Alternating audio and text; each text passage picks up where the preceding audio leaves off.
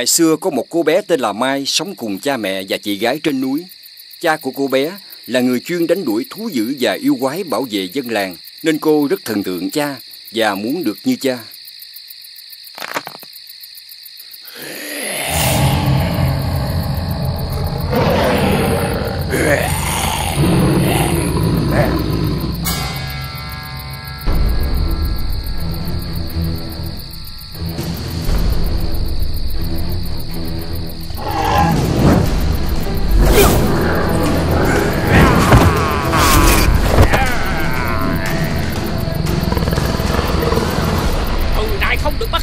Dừng lại nghe chưa?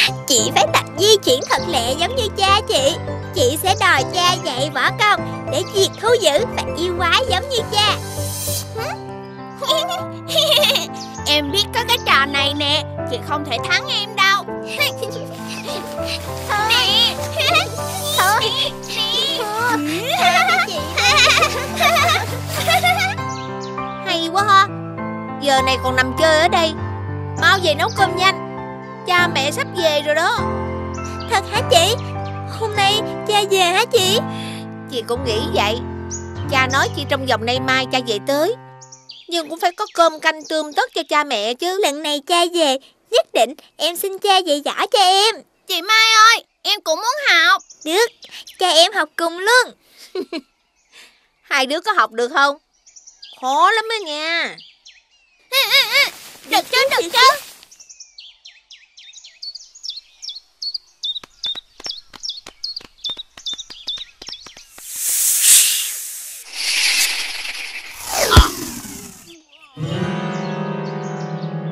Mình có thể chữa cho nó không chị? Tội nó quá à. Đưa nó về nhà mình đã. Chị phải nấu cơm cho cha mẹ nữa. Gần trưa rồi.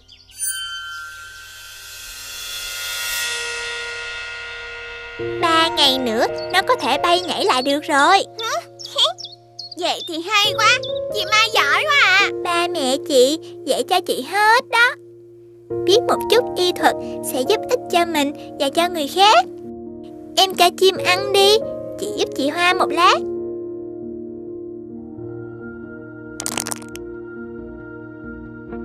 Hmm.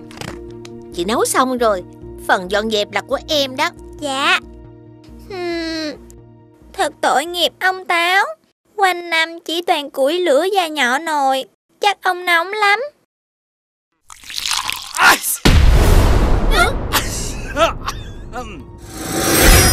Ai Ai hắt nước vô ta vậy? Con, con xin lỗi ông mà. Nhưng ông Ông là ai vậy? Ừm Ông là một trong ba ông táo của nhà con đây. Thì ra là vậy. Vì con sợ ông Táo bị nóng Nên mới đổ nước cho ông má. Ừm, Con thật là tốt khi lo cho nhà táo chúng ta. Nhưng là thần bếp á thích lửa. Vậy nên nước sẽ làm cho chúng ta bị cảm đó. Con hiểu chưa? Dạ Con xin lỗi ông. Con có thể làm gì cho ông không? Ông có thích món gì khác ngoài lửa không? Ừm, Con muốn tặng quà ta sao? Ông đã giữ lửa cho nhà con được ấm áp Và có nhiều bữa ăn ngon trong bao năm qua. Con rất muốn tặng quà để cảm ơn ông Ta thật vui khi con nghĩ như vậy. Nếu muốn, Con có thể tặng cá chép cho ta Để đến ngày 23 tháng chạp, Ta có thể cưỡi cá về trời chầu Ngọc Hoàng. Dạ được ạ. Chiều nay con sẽ đi câu cá chép tặng ông.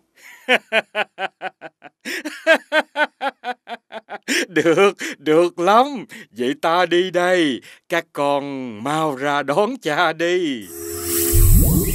Ông Táo nói vậy, nghĩa là cha chúng ta sắp về hả? Các con ơi, cha đã về.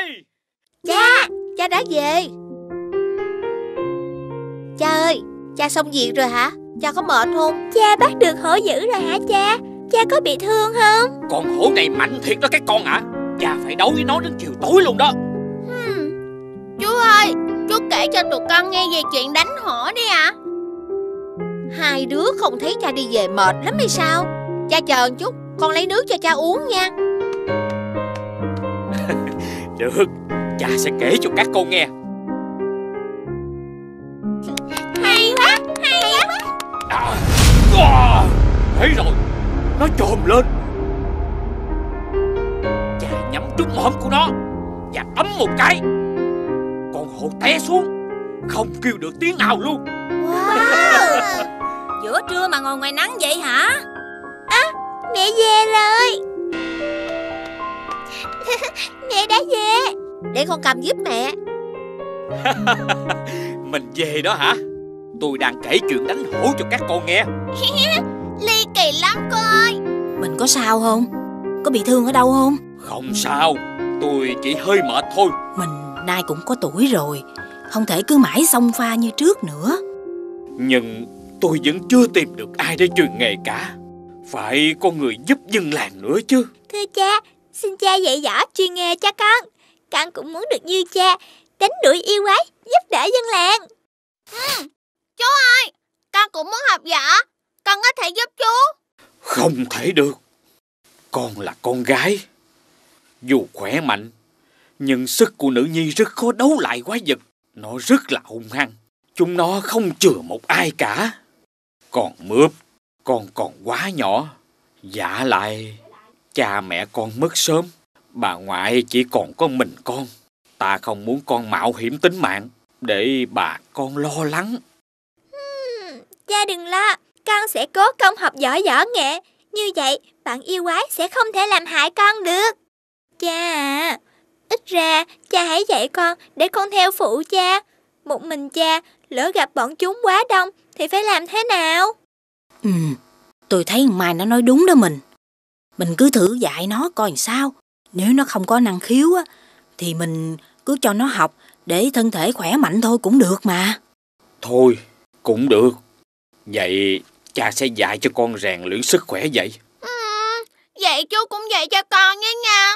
Con cũng muốn học. Thôi Còn giờ á thì mau vào ăn cơm Chiều mất rồi Dạ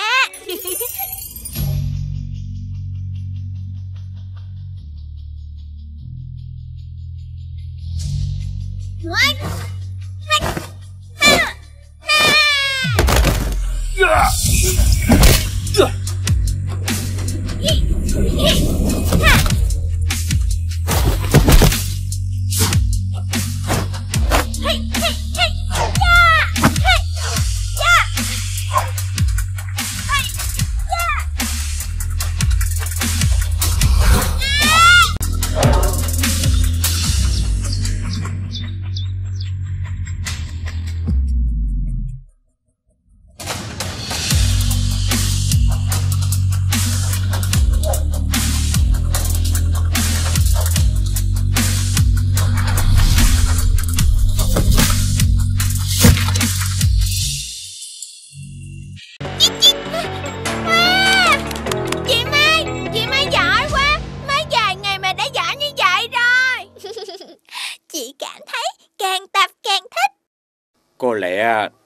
đã nhầm về con.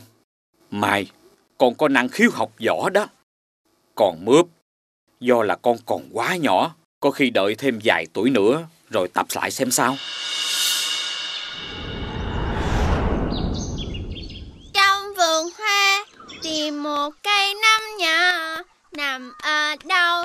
Hai cây năm nhỏ để ta đèn về nấu canh cho bà. Lè lè lè lè lè. ai ở đó. Ra mặt đi. Tôi có vợ đó nha. Trời ơi, Con thỏ là mình hết hồn. Lại một chú thỏ khác nữa.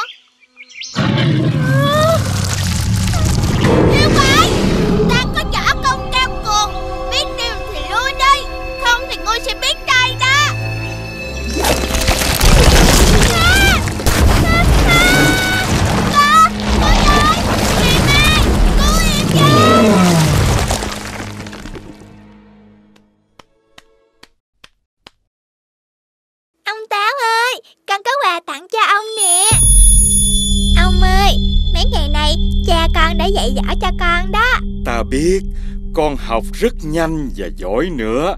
Con thích học võ đến vậy sao? Dạ, thưa ông, con cảm thấy những thế võ không xa lạ gì với mình. Ừm, vậy là tốt. Con có tài năng như vậy Chắc chắn sẽ làm nên chuyện. Giúp cha con đánh đuổi bọn quái vật Giữ bình yên cho dân làng. Mày bị làm sao vậy? Con chim nói đã có chuyện không hay xảy ra rồi. Có một con quái thú gần đây. Con phải cẩn thận bé Mai à. Cha mẹ ơi Con hay rồi. Bé mất nó có chuyện. Con sao vậy? Có chuyện gì? Từ từ nói. Cha Mẹ Lúc nãy con qua đưa quần áo mới may cho nhà bé mướp. Thì bà nói Mướp đi hái nấm trong rừng từ chiều chưa thấy về Cầu mong là đừng có chuyện gì xảy ra với nó Mình đừng lo lắng quá Có thể thằng bé đi lạc Hoặc ngủ quên đâu đó trong rừng Để tôi đi kiếm nó về Mấy mẹ con ở nhà khóa cửa nẻo cẩn thận Thưa cha, cha con đi với. Có gì con cũng phụ cha. Con đi theo làm gì Cha đi dạo rừng đêm thường xuyên Con không cần lo Lúc nãy, ông Táo nhà mình nói với con có một con quái thú xuất hiện gần đây. Cha hãy cho con đi theo để giúp đỡ cha. Thôi, vậy thì nguy hiểm quá. Con chỉ mới học võ được có vài ngày. Làm sao mà hạ được con quái thú mà đòi đi? Mẹ đừng lo, con bắn một mũi tên không trúng thì con bắn hai mũi, năm mũi, mười mũi. Với lại, con chỉ phụ cha, chứ không làm vướng chân cha đâu. Thôi được rồi. Mình cứ yên tâm đi. Tôi sẽ đưa con theo cho nó học hỏi là chính. Cha con tôi tìm được mướp á Sẽ về ngay Vậy thì hai cha con phải cẩn thận đó nha Dạ, con biết rồi ạ. Em và cha phải nhớ trở về bình an nghe chưa Chị đã may cho em một cái áo mới màu vàng mà em thích rồi nè Em cảm ơn chị.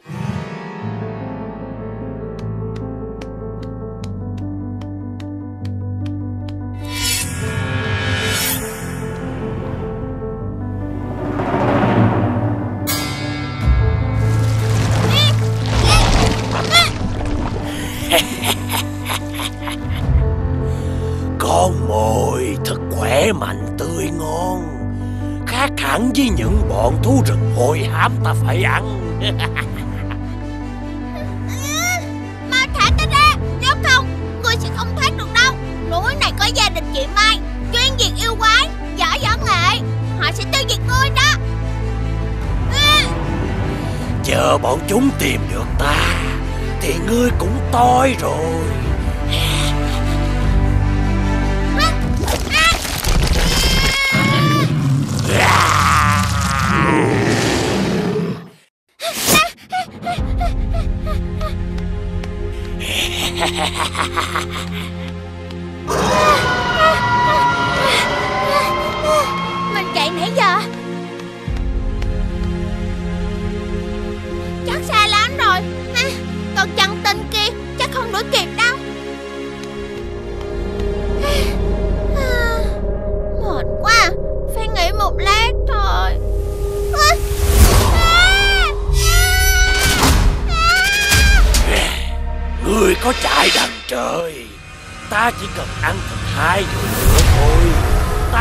trở thành bất tử trong trời đất.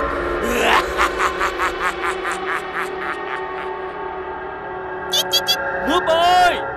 Con ở đâu? Mướp! Mướp ơi, em ở đâu? Cái gì vậy? Ý, là cái giả của mướp. Có một con gì rất lớn Đã bắt mướp đi rồi. Cha không thấy dấu chân của nó. Có khi nào mướp bị ăn thịt rồi không cha?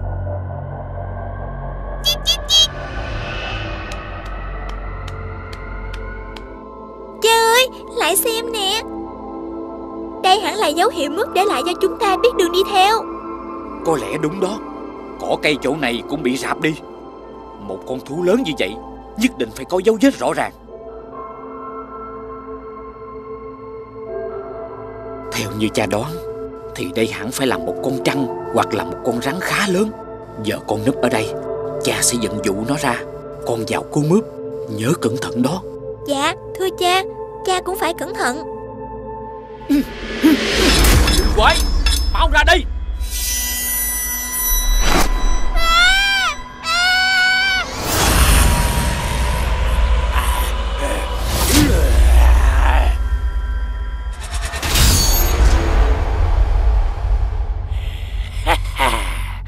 Thật hay. Hôm nay tự nhiên lại có kẻ nạp mạng. Ta sẽ trở thành bất tử.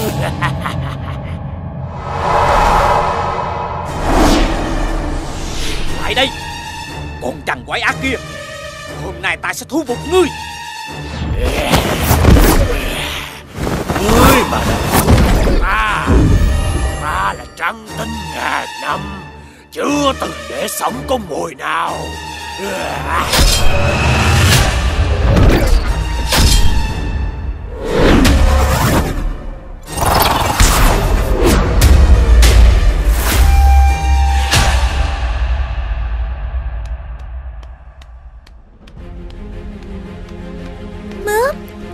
đâu rồi? Chị Mai Em ở trên này nè Mà cứu em với Được rồi Chị sẽ bắn đứt dây treo để cứu em. Em không được la to đó. Em có bị thương ở đâu không? À, Không chị Nhưng em sợ quá. Chúng ta mau ra khỏi đây thôi.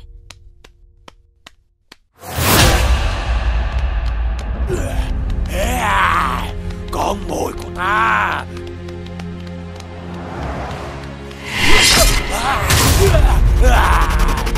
Cái gì thế này?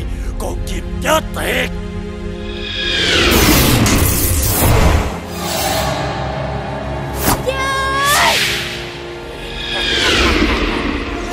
Con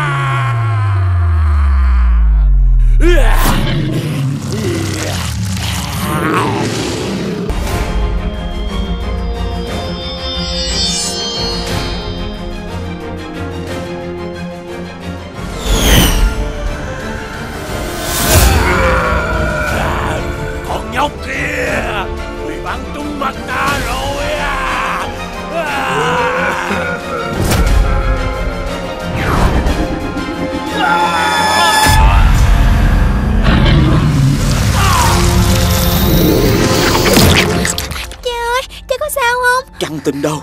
Nó chết rồi cha ạ. Mình mau về thôi. Đúng rồi. Mau mau đi khỏi đây. Cha đã yếu sức rồi.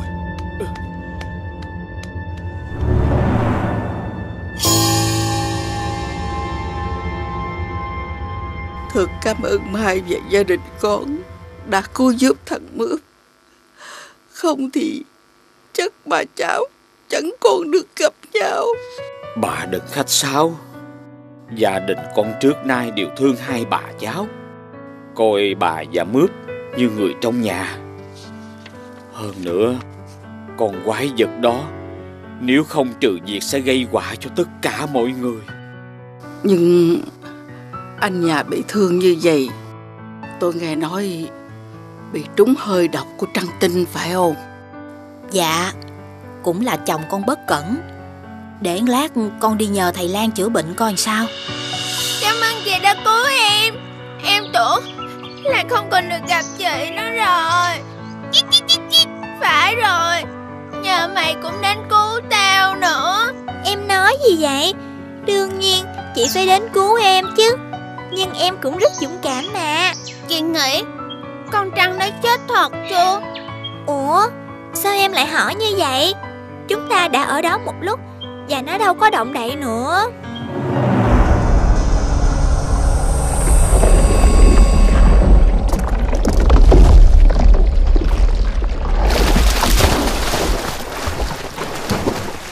May mà ta chiếm được hồ nước thần này. Dù bệnh tật thương tích cỡ nào cũng không sao. Nhưng ta không muốn phải dựa vào hồ nước này mãi. Ta phải bất tử. Trước hết Ta phải trả thù con nhóc hỗn xược đó.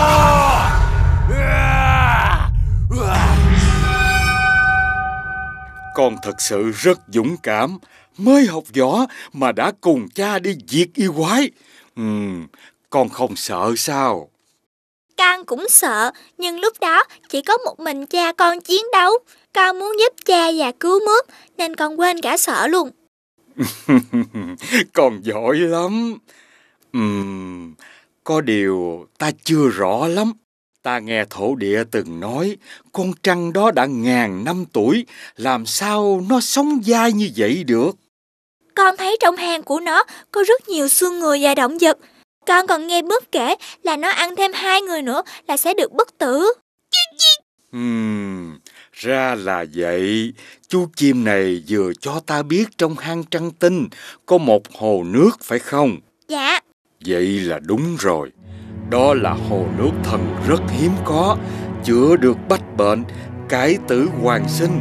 Có lẽ con trăng này đã tu luyện nhờ hồ nước này. vậy nếu có nước từ hồ này thì cha con sẽ khỏe lại sao? Ừm, có thể lắm. Vì ông ấy đã hít phải hơi độc của trăng tinh. Tuy không gây chết người ngay lập tức Nhưng sẽ làm cho người ta yếu dần mà chết. Mai ơi! Con mau lấy khăn và nước cho cha đi con. Dạ, Đây là dãy cá chép đã quá rồng Con hãy nghiền thành bột cho cha uống. Nó có tác dụng khống chế tà khí yêu ma trong một thời gian ngắn Cha con sẽ cầm cự thêm được vài ngày. Con cảm ơn ông Táo.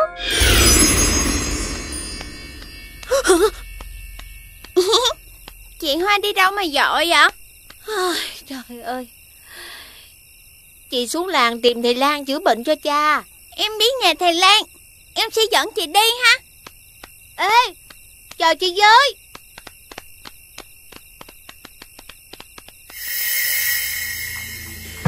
Ngươi không phải quắt con hỗn xược đó. Nhưng mùi của ngươi cho ta biết, Ngươi chính là người nhà của nó. Ta phải bắt ngươi. Chị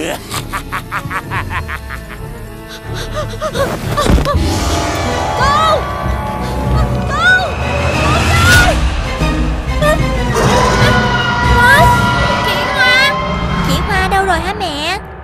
Chị con xuống làng tìm thầy Lan chữa trị cho cha rồi Trời tối thế này, sao mẹ không gọi con đi cùng chị ấy? Mẹ cũng định gọi Mà con bé cứ sốt ruột đi ngay à Nó nói con bận nấu cơm Mẹ ơi, lúc nãy ông Táo cho con một ít vảy rồng.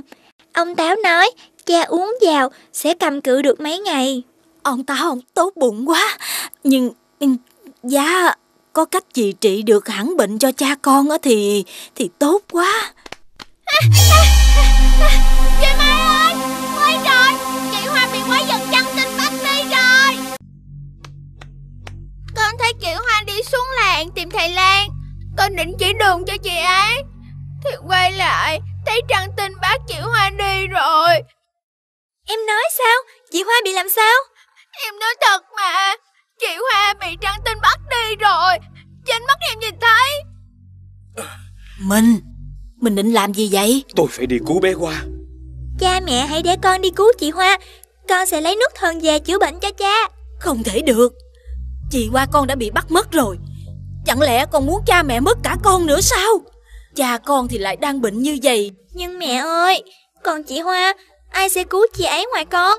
Chỉ có con và cha biết chỗ trăng tinh thôi. Không được. Con không đủ sức để đấu lại trăng tinh. Nếu con đi, Mẹ không chấp nhận. Chỉ có thể, Mẹ sẽ mất luôn cả con. Cha con thì đang bị thương. Làm sao đây? Hay trong làng, Coi còn có ai có thể giúp chúng ta được không? Mẹ sẽ đi tìm ngay. Mình, Có ai có thể giúp chúng ta không mình? Mình cản con lại đi mình. Có lẽ Mai nói đúng đó mình à. Chúng ta chẳng còn hy vọng nào khác để cứu bé Hoa Mẹ đừng có lo, Con đã diệt được con trăng tinh này một lần. Nhờ có nước thần nó mới sống lại. Con tin là lần này con sẽ diệt trừ được nó Đem chị Hoa trở về an toàn Rồi đem nước thần về chữa bệnh cho cha. Cả nhà ta lại vui vẻ như xưa. Cha sẽ để cho con đi Nhưng cha sẽ đi cùng con.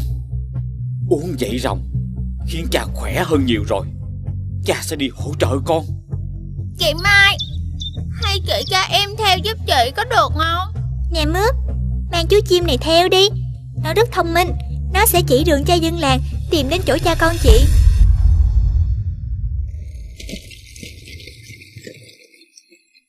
Trăng tinh Cha ta là người diệt yêu quái.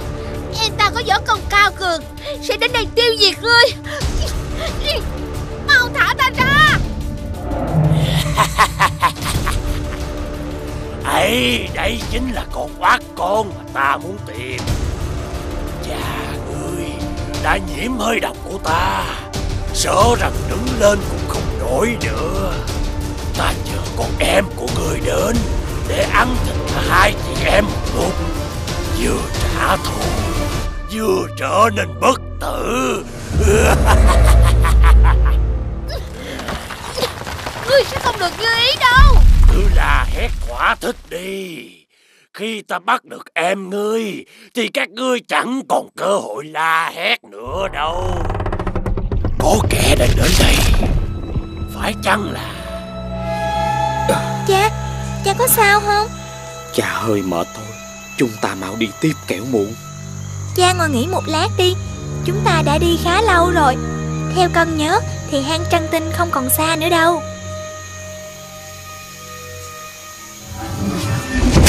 Bé Mai, may quá Ta đã tìm được hai cha con rồi. Ta theo ánh lửa mới hiện lên gặp con được. Con chào ông. Xin lỗi ông Con đi gấp mà chưa kịp tạm biệt ông. Ông biết, ông biết. Ông đến để hỏi con về dãy rồng ông đưa. Con còn không? Dạ đây thưa ông. Con đã nghiền thành bột và cho vào túi này Để cha con uống trên đường đi. Ừ, Phải lắm Ta muốn nói là bột dãy rồng cũng chống được hơi độc Và làm yêu quái đuối sức. Còn có thể tát vào trăng tinh khi đánh nhau với nó. Thật sao? Con xin cảm ơn ông. Thôi ta phải trở về coi bếp và bảo vệ nhà cho hai cha con đây. Chúc hai cha con mau trừ được trăng tinh. Ông chờ ba cha con trở về nha. Tiếng động đó Có phải là trăng tinh không? Hừ, Hình như lúc này Đã có con gì đó rình ở đây?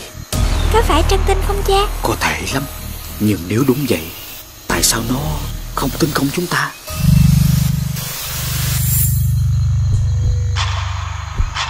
Khoan đã.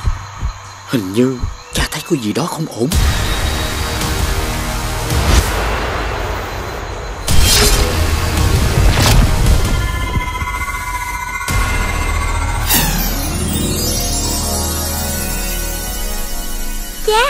Cha có sao không? Cha ơi Cha mau uống hết chỗ này đi. Như vậy Chúng ta không còn nhảy rồng Để chiến đấu với trăng tinh nữa. Cha mau uống đi Sức khỏe cha quan trọng hơn. Con trăng tinh thật quá nham hiểm Dằn cái bẫy này cho chúng ta đuối sức trước khi đến nơi. Vậy chính là nó. Đã nghe lén chúng ta nói chuyện với ông Táo. Nó biết chúng ta có dãy rồng Nên không vội tấn công Mà làm suy yếu chúng ta. Ai, Chúng ta đã khinh địch rồi. Đúng đó Lần trước trăng tinh đã khinh thường chúng ta Nên đã thất bại. Còn lần này Là do chúng ta chủ quan Nên Giờ mọi việc sẽ khó khăn hơn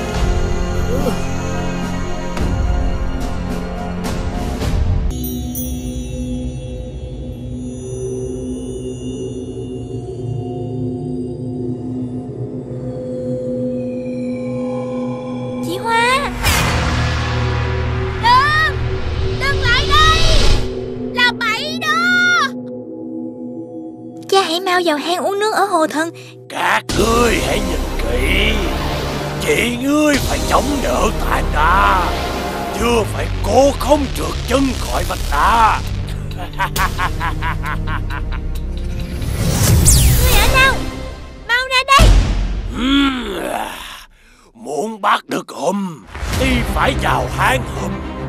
Ngươi có giỏi Thì vào đây bắt ta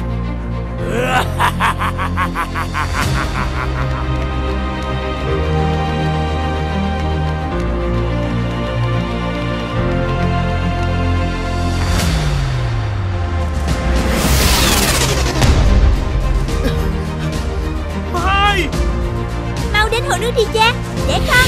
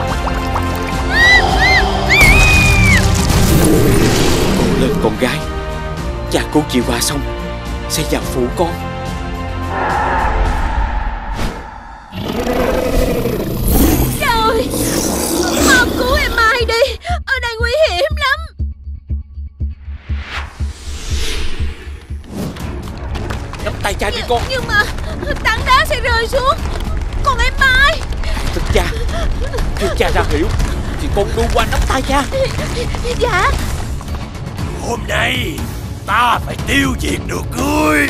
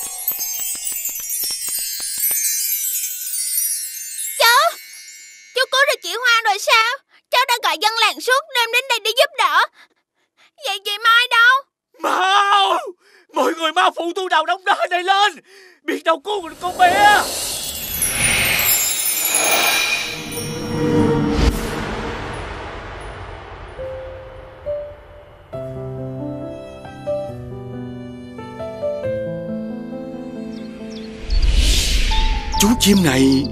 Trời ơi Là bé Mai đó sao?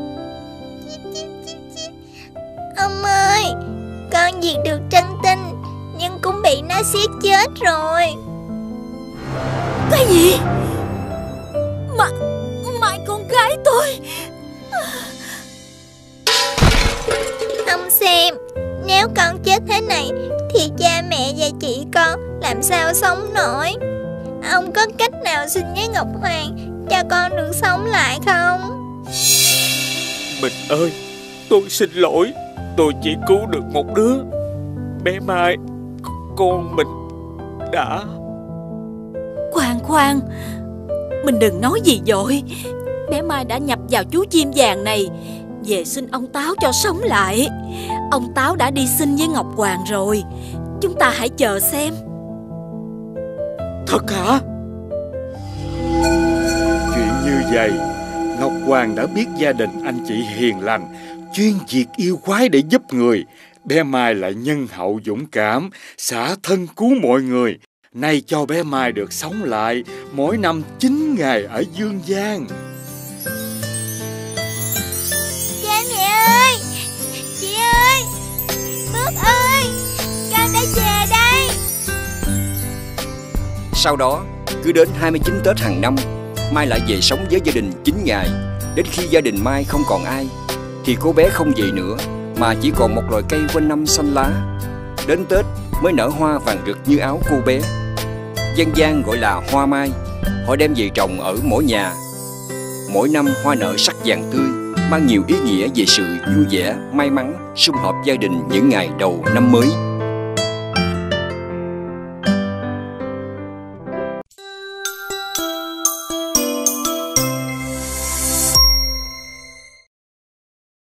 Ngày xưa ngày xưa, các loại cây cối cũng có các vị thần tiên bảo hộ. Và thần tiên cũng phải học hành, thi cử để trở thành tiên trưởng thành. Tiên gạo là một trong số những tiên nhí đang trong giai đoạn đó.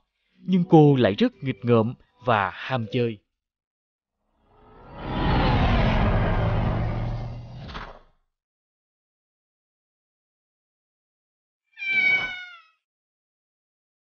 Tùng Ta thắng rồi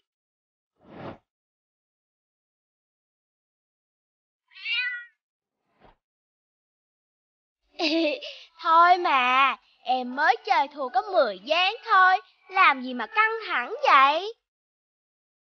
Thôi thôi, Thế lần này ta tìm cho em trốn nhé.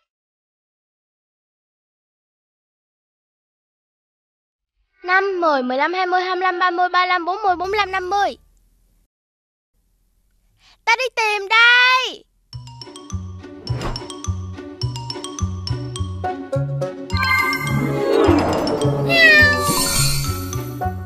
Ai bảo ta có phép làm chi?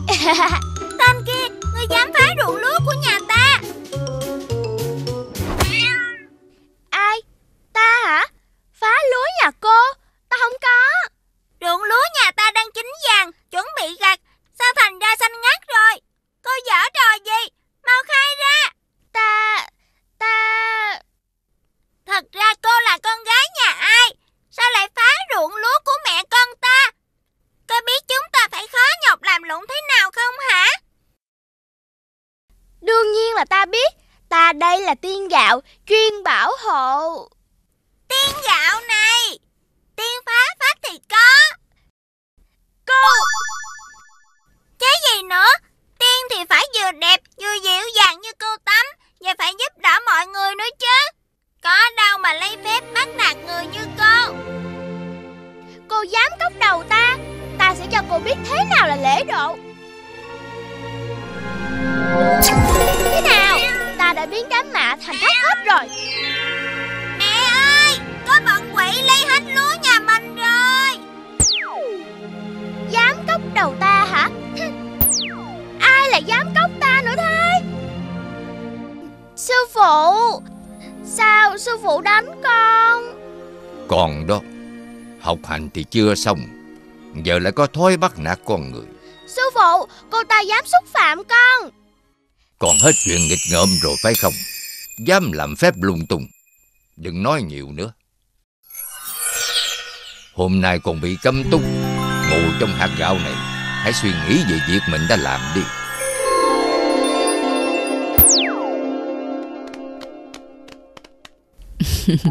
Có ai đâu Một con bé với một con mèo. Bốn tay lúa biến mất. Chắc là sáng sớm ra đồng con vẫn đang buồn ngủ chứ gì. Thôi con đi rửa mặt cho tỉnh đi rồi làm với mẹ.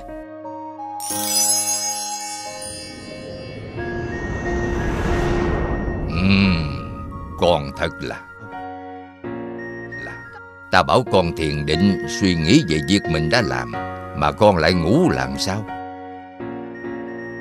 Con xin lỗi sư phụ. Tại Hôm qua con thức khuya học bài. Vậy sao? Vậy nói cho ta biết. Muốn giúp đỡ con người Thì phải qua các bước nào? Dạ giúp người thì Thì là Thưa sư phụ, giúp người trước hết phải thử thách sự nhân từ, rồi thử thách sự kiên nhẫn, và cuối cùng là thử thách ý chí của người đó. Sau cùng mới là ban phước lành. Con, con luyện phép? Được. Vậy con làm phép ngay cho ta.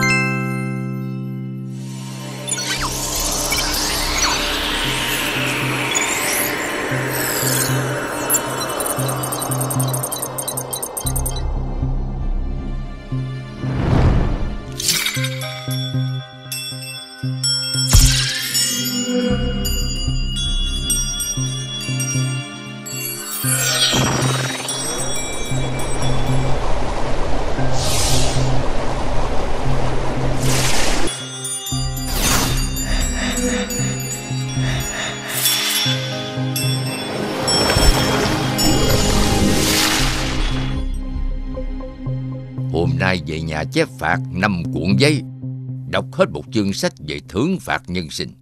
Lần sau, tóm tắt cho ta nghe.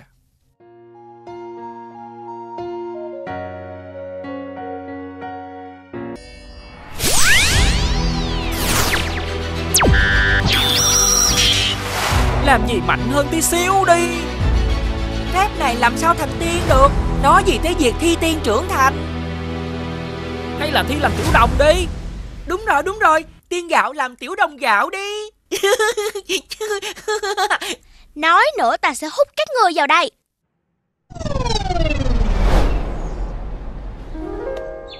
Ta cũng đâu có ý ngủ gật đâu. Nhưng mà không hiểu sao Cứ ở trong lớp là ta buồn ngủ à. Còn ra khỏi lớp là mắt ta lại mở thao láo nè. Ui da! Ui da Ông bị làm sao thế? Tôi đói Đói quá. Đã hai ngày một đêm không có gì ăn.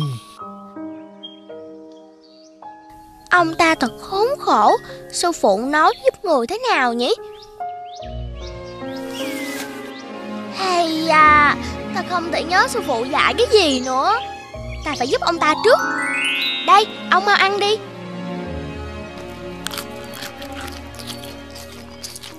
Sao ông lại ra nông nổi này?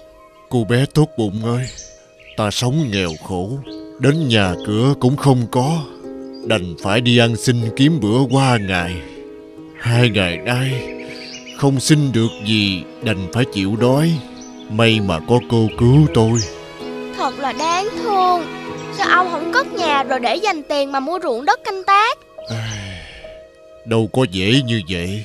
Mọi thứ đều rất đắt đỏ Cô bé xinh xắn tốt bụng ơi. Có thể cho tôi một chút thức ăn Hay vài hào lẻ thôi cũng được.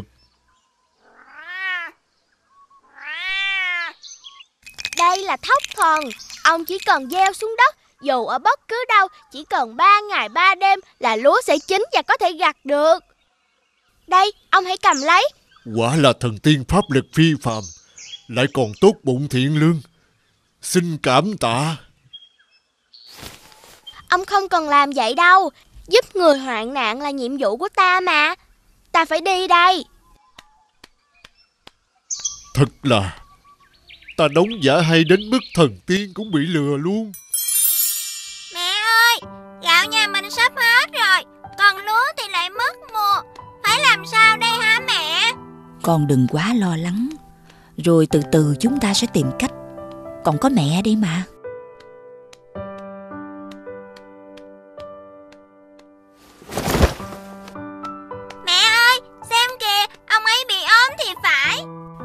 bác có làm sao không? Tôi đói. Đói quá. Đã hai ngày một đêm không có gì ăn. Đây bác hãy ăn tạm một chút cơm nắm lót dạ đi.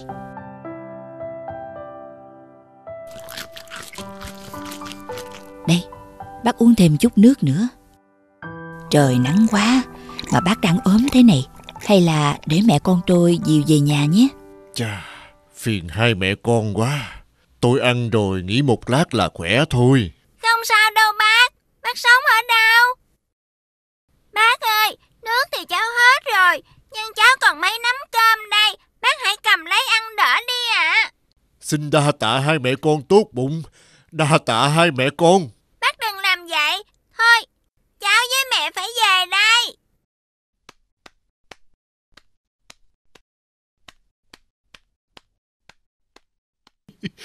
Một, hai, ba, bốn nắm cơm. Ăn về thì được một tuần luôn.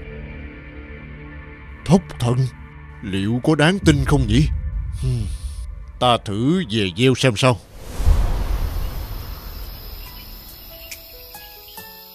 Trời ơi Chép phạt dài quá. Sư phụ ơi Con gãy tay mất. Mèo con à Sáng nay em thấy ta giúp gã kia trông có oai không? Xem ta làm có giống trong sách không? Hey, Đọc sách buồn ngủ quá. Thôi ta đi ngủ luôn cho xong Để mai tính tiếp.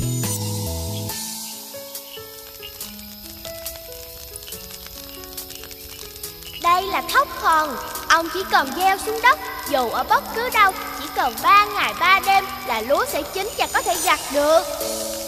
Ăn xin mấy năm trời chỉ để giành được từng này. Ta đã tính đi tính lại.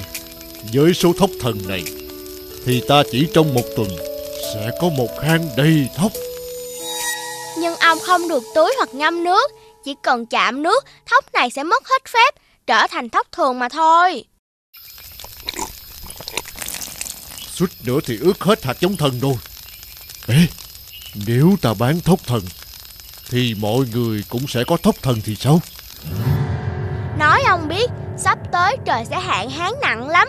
Ông hãy đi báo cho mọi người để trữ sẵn lúa mà ăn.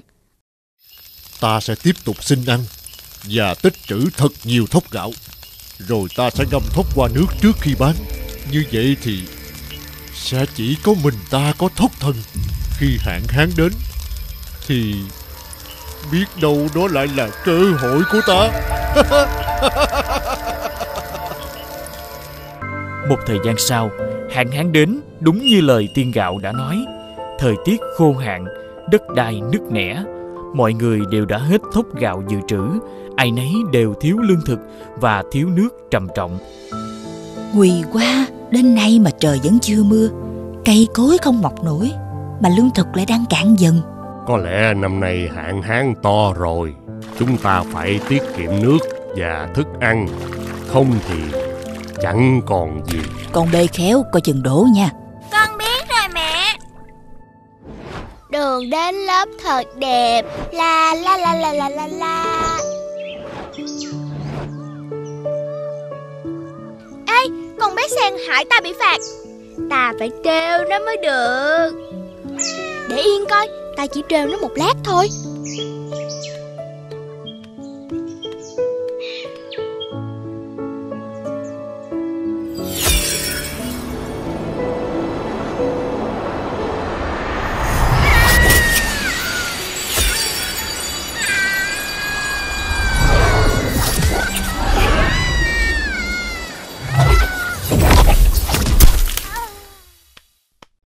Con có sao không? Mẹ con xin lỗi Con không có ý Nước đổ hết rồi Thôi, lỡ rồi con. Đi đứng phải cẩn thận chứ. Sao lại chạy nhanh quá vậy? Con xin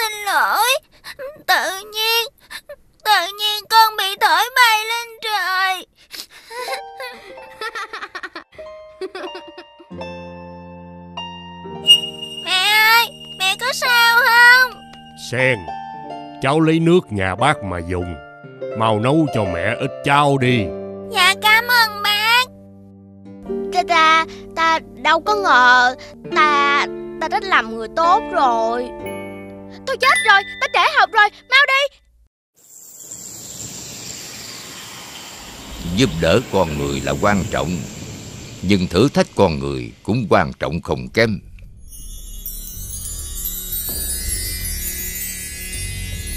Phải để con người biểu hiện rằng Họ có tấm lòng xứng đáng với sự giúp đỡ từ chúng ta, Rằng chúng ta đã giúp đúng người.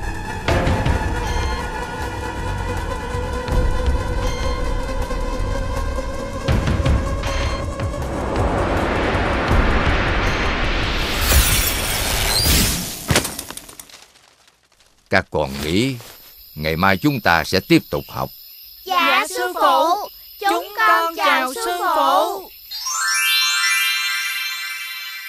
Con là một học trò thông minh. Ta đã kỳ vọng ở con rất nhiều. Nhưng Con đã làm ta thực sự thất vọng.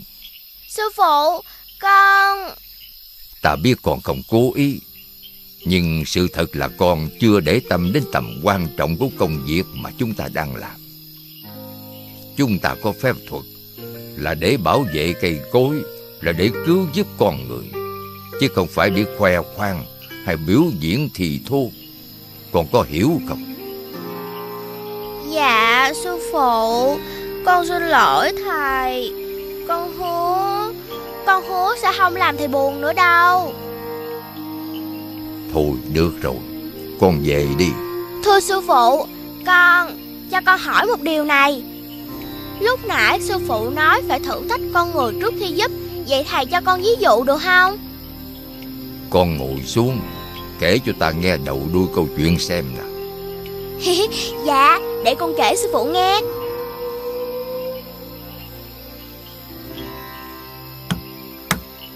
À, à, Bớ người ta Cứu tôi.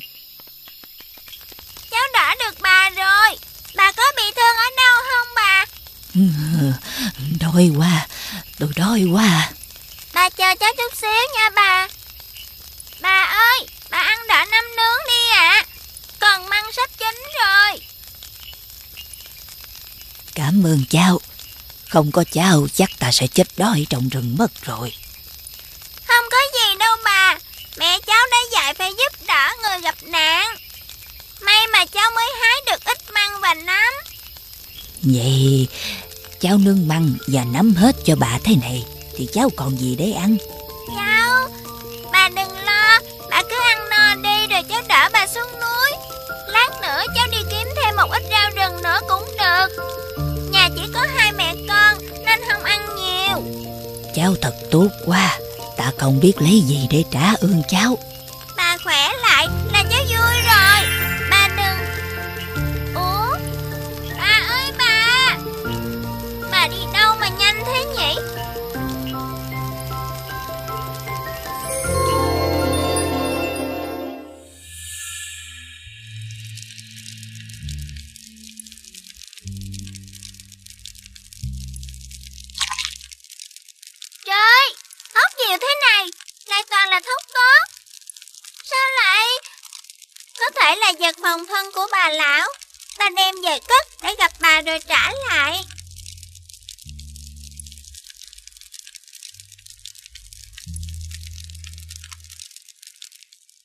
Sư phụ, liệu cô bé đó có biết lấy gạo đó mà ăn không ạ? À? Rồi con sẽ biết.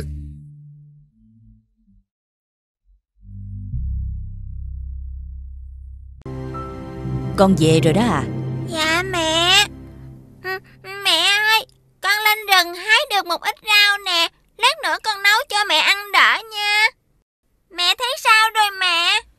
Cũng mệt Nhưng mà đỡ rồi con à. Con đừng lo cho mẹ. Con mau ăn uống chút gì đi. Sáng giờ chỉ lo cho mẹ. Mẹ con cái sen có nhà không? Con chào bác ạ. À. Bác sang chơi ạ. À? nhà có ít cháo với củ khoai. Đem chia cho nhà chị một ít đó mà. Bác tốt quá. Mẹ con cháu xin cảm ơn bác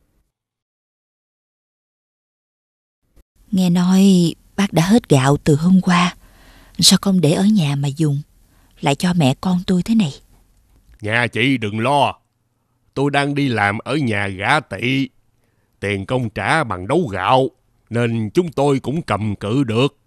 Thật sao bác? Ông tỷ ấy có bán gạo không? Nhà còn chút tiền may ra... Ừm, năm đồng một cân. Trời, sao mắc quá vậy?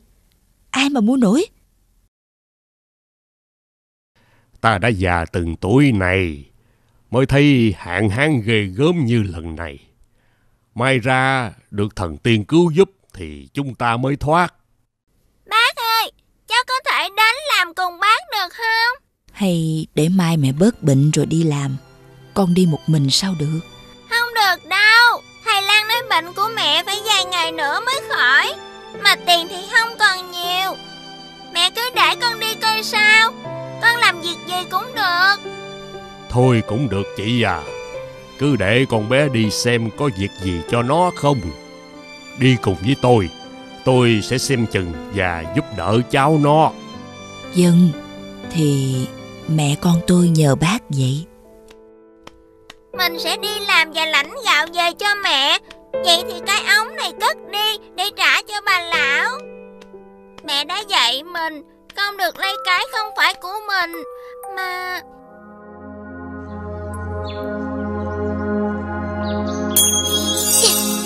Từ từ, từ từ thôi. Khéo đứt rễ mất. Xong, thêm một cái cây để được an toàn. Em cười cái gì? Ta có trách nhiệm bảo vệ cây cối các loại giữa cơn hạn hán này. Cứu được cây nào hay cây đó, chứ đâu riêng gì cây lúa. Ta thấy thật tự hào, hôm nay ta đã nhờ gã ăn xin đi báo tin hạn hán cho mọi người, thế là không có ai chết đói. Còn giờ ta chỉ việc cứu các cây non thôi. Nè nè, mọi người có biết không, gã tỳ ấy trước chỉ là ăn xin thôi, không biết tích trữ ở đâu được lắm gạo bán với giá cắt cổ nên mới giàu vậy đó. Chưa đâu, giá mỗi ngày một tăng nữa. Nhờ vậy mà hắn á, tậu được biết bao nhiêu ruộng vườn nhà cửa trong vòng có một tháng à. Sao đang lúc thiên tai mà không thương xót giúp đỡ đồng bào Lại ra giá trên trời như vậy Năm nay hạn hán quá nặng. Không biết chúng ta có thể cầm cự được bao lâu nữa. Sao lại có kẻ đầu cơ trục lợi trên nỗi khổ của người khác như vậy được? Chúng ta mau theo họ xem Bán cho tôi một cân. Tôi trước Tôi mua một cân. Xếp hàng vào. Không chen lấn. Giá mới hôm nay là 8 đồng một cân. Nè nè. Cũng mua vừa bán thôi. Ai muốn mua thì mua. Tôi đâu có bắt buộc. Ê, Làm ăn trên nỗi khổ của người ta như vậy đó. Hình như đây là gã ăn xin ta cứu lúc trước đây mà Mấy người? Đến gặt lúa phải không? Dạ đúng rồi. Ừ Đi gặt lúa mà sao đem theo con nít vậy? Hả? Ông không nhớ cháu sao? Lúc trước cháu và mẹ từng cho ông cơm nắm lúc ông bị xỉu đó. Con bé này Ai mà biết mày? Đừng thấy sang bắt hoàng làm họ nha. Nếu đến đây để ăn dạ Thì mau xéo đi kẻo tao báo quan đó. Thưa ông Cháu nó còn nhỏ Xin ông tha cho. Xin ông xem có việc gì cho con bé làm với. Nhà nó thì nghèo Mẹ nó lại đang bệnh. Nói thế còn tạm nghe được. Nhưng ở đây đủ người cả rồi Chỉ có công việc cắt lúa thôi. Thưa ông Việc đó so với sức con bé thì nặng quá. Làm thì làm không thì về. Đừng lôi thôi. Nên nhớ Còn có rất nhiều người đang chờ công việc này mà không được đó. Ở đâu ra mà xử tệ với người ta như thế? Ta quả đã làm khi giúp ngươi Ta sẽ cho ngươi biết tay. Ai Ai vừa cốc đầu ta? Ta mà biết kẻ nào thì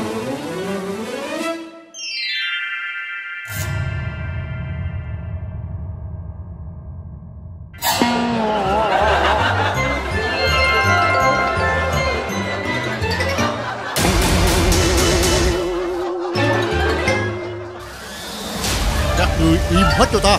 Ta trừ tiền công các ngươi.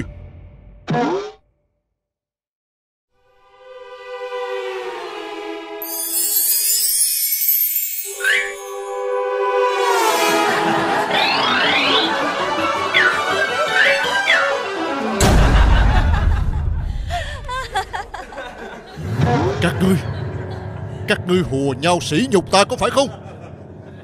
Dạ, không có, không có. Chúng tôi đi gặt lúa đây ạ. Nhỏ kia. Chính mi làm cho ta bẻ mặt. Hôm nay riêng nhà ngươi Bị trừ nửa tiền công. Cháu có làm gì đâu. Xin ông đừng trừ công của cháu. Ông hãy suy nghĩ lại. Nó còn nhỏ Mẹ nó lại đang bệnh. Ai nói giúp nó Sẽ chia nửa tiền công với nó luôn. Thôi đi cháu Đôi cò với ông ta Mình chỉ thiệt thôi. Đúng vậy. Cái thứ gì bất nhân quá vậy? Con nít mà cũng bắt nạt được vô lý Quá vô lý mà. Ta sẽ cho hắn một bài học. À, à, đau.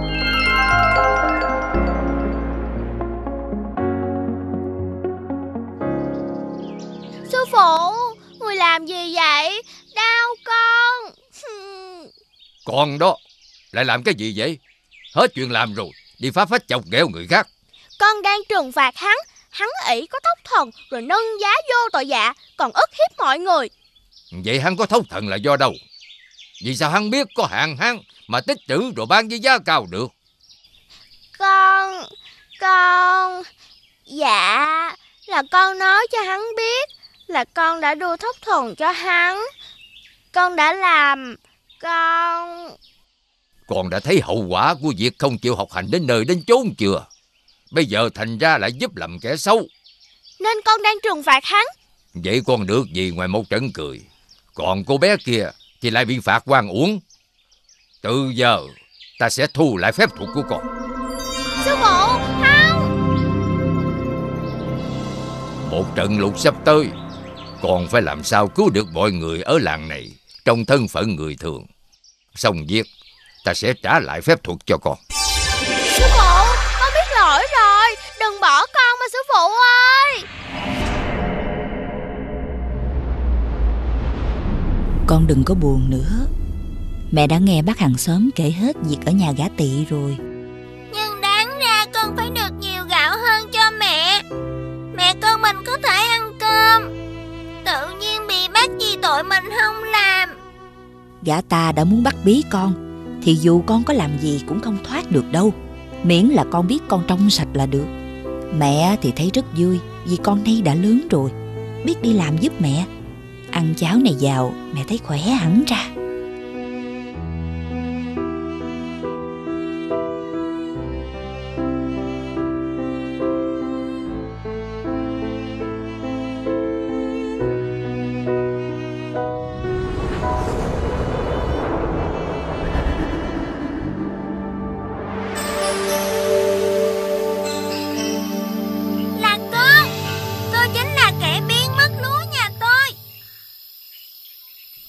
Tại cô á. Vì cô mà tôi bị phạt mất hết phép rồi nè. Ai bảo cô chọc gã nhà giàu làm chi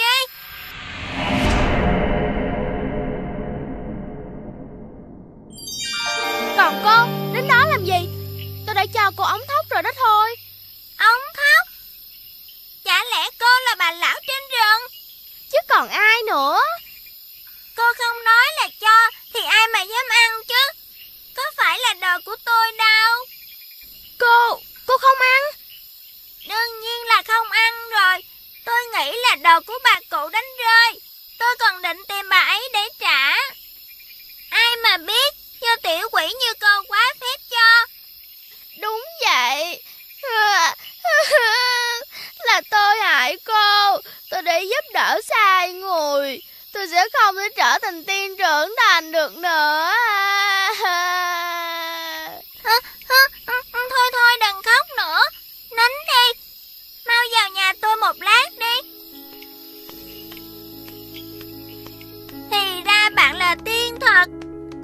còn bị lấy hết phép. Và bạn tính sao? Sư phụ nói, Trong trận lục sắp tới, Nếu tôi có thể cứu hết mọi người Mà không dùng phép thuật, Thì sẽ trả lại phép cho tôi. Tôi chỉ mới làm tiên có 500 năm mà, Chưa được thi làm tiên trưởng thành, Đã mất hết phép Nếu không trở lại được biết sống sao đây? Dù chúng ta đã hiểu lầm nhau Nhưng dù sao tôi cũng cảm ơn bạn Đã có ý giúp tôi. Liệu người ta có tin con nít như mình không? Ừ Tôi sẽ thuyết phục mẹ và bác hàng xóm. Nếu họ tin Thì mọi người cũng sẽ tin thôi. Giờ ta phải thử mọi cách chứ biết sao. Bạn không cần đi làm nữa Cứ lấy ống thóc của tôi mà dùng Hết nó lại đầy Bạn không cần lo đâu. Hôm sau, Sen đem chuyện của tiên gạo nói với mẹ. Hai cô bé cuối cùng cũng thuyết phục được mẹ và bác hàng xóm tin là sắp có lũ lụt lớn. Làng mình đã đi hết chưa? Còn có ai nữa không? Còn tên tị Hắn một mực đem theo tất cả của cải Nên đến giờ vẫn chưa đi. Xin bạn hãy chăm sóc cho con mèo của tôi Nếu gặp nhau thì tôi sẽ nhận lại. Chúng ta mau đi thôi. Bạn ấy sẽ theo kịp thôi.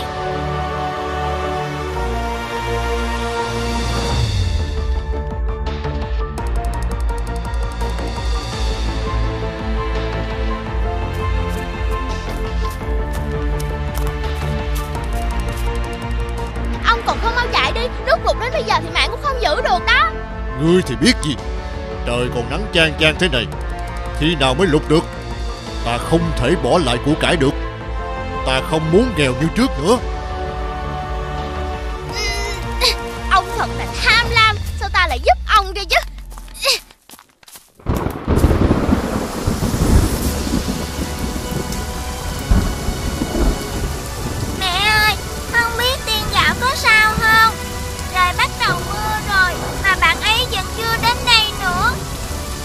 phải cứu ông Tị nữa. Chắc là đang lên núi rồi. Làm thế nào đây? Đường lên núi còn xa quá. Ta đã nói với ông là bỏ bớt những thứ không cần thiết rồi mà. Nhưng Nhưng món nào ta cũng cần cả. Nước lụt đến bây giờ thì ông cũng mất cả thôi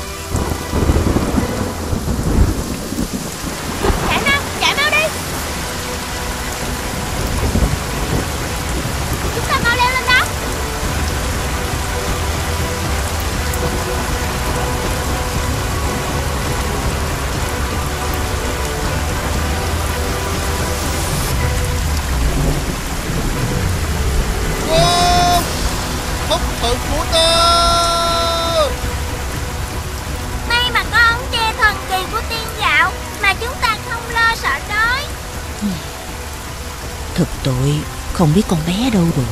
Có cứu được giả tị đó không?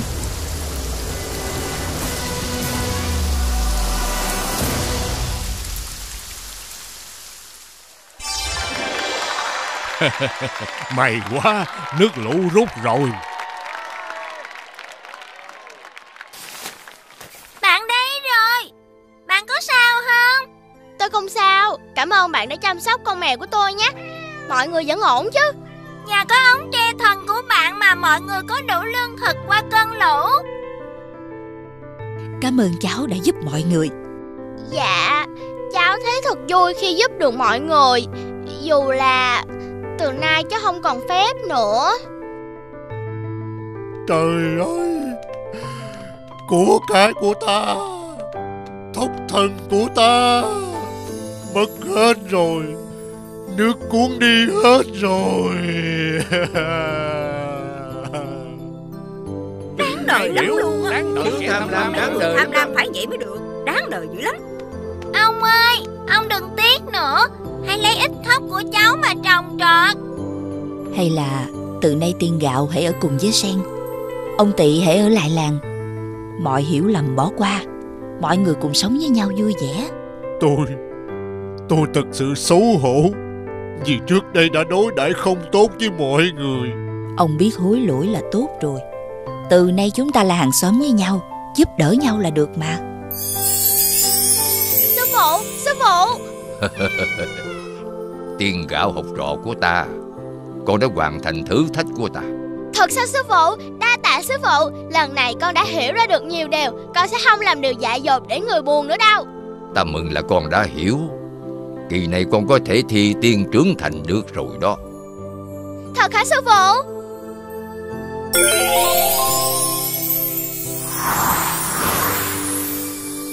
Cảm ơn bạn Nhờ bạn và mọi người đã giúp tôi trở lại thành tiên Tôi cũng mừng cho bạn. Đây, xin trả lại bạn vật phép này. Vì giờ đây chúng tôi đã có đủ thóc gạo và lương thực để gây dựng lại. Nhưng vậy mà chúng ta còn có thể gặp nhau không? Đừng lo Chúng ta vẫn sẽ là bạn tốt Tôi sẽ đến thăm mọi người lúc rảnh rỗi Từ đó, Sen và mẹ sống hạnh phúc, no đủ cùng nhau trong sự đầm ấm, đùm bọc của làng xóm. Thóc của tiên gạo cho họ được phân phát khắp nơi. Tuy đã hết phép thần, nhưng thóc ấy vẫn được mọi người yêu thích gieo trồng. Con gái nhà giàu keo kiệt vì quá xấu hổ với mọi người nên đã bỏ đi làm ăn thật xa. Về phần tiên gạo, nàng đã vượt qua được thử thách và đương nhiên là thi đậu làm tiên trưởng thành. Nàng tiên gạo tiếp tục dõi theo và giúp những người lao động chăm chỉ có đủ gạo thóc sống no ấm, hạnh phúc.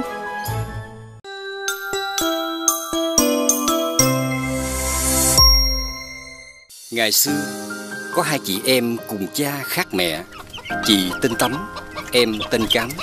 Mẹ Tấm mất sớm, cha Tấm cũng qua đời sau đó không lâu. Tấm ở chung với dì ghẻ là mẹ Cám.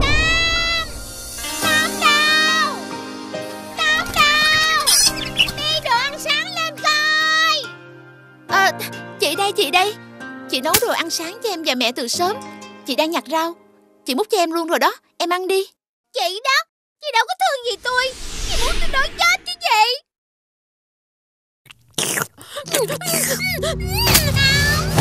Nóng quá à.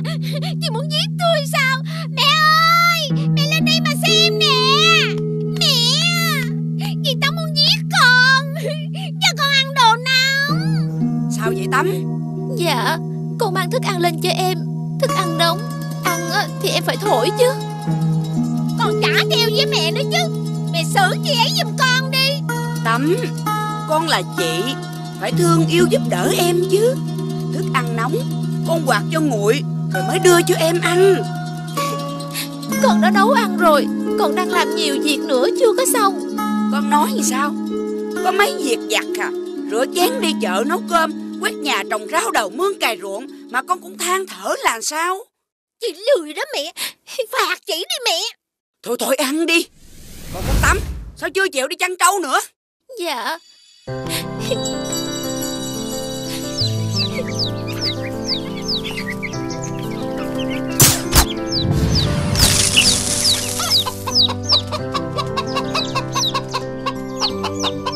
Các em thật là hạnh phúc. Giá mà mẹ chị còn sống. Được rồi, được rồi. Chị hiểu rồi. Nè, giờ tới lượt em ha Chị thấy ở gần đình làng có nhiều cỏ xanh. Chúng ta cùng đi nào.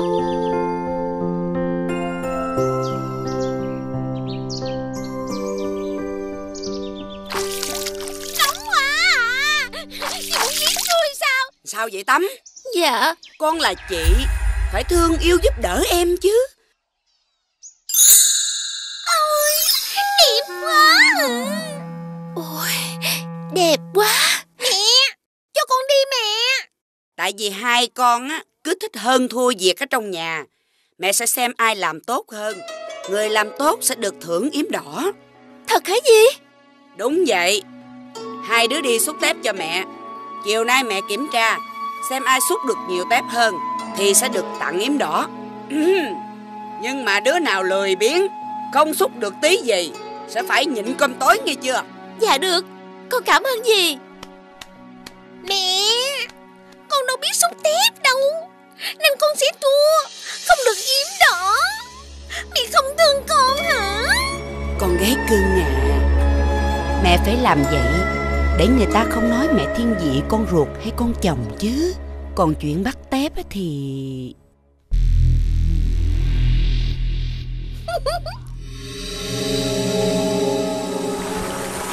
Nè Em cắm xuống đây với chị. Chỗ này chị hay xúc được nhiều tép lắm sẽ đèn dài em mất thôi. Cám ơi Chị xong rồi nè. Ta về chưa?